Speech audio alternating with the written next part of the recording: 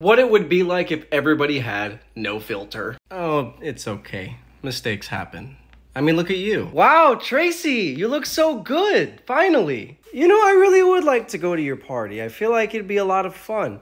I just don't really like you that much. Mrs. Wexler, I'd help you bring that package up here, but honestly, you look like you need the workout.